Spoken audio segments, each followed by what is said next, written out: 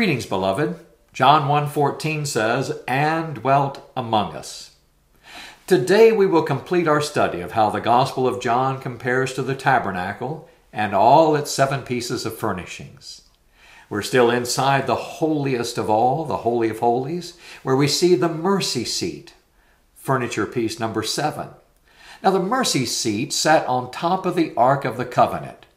There were two angels, cherubim, that were made as part of the mercy seat, placed at both ends of the mercy seat.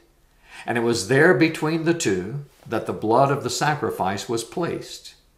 After the death of the Lord Jesus, Mary entered into the tomb and saw two angels sitting, one at the head and the other at the feet, where the body of Jesus had lain.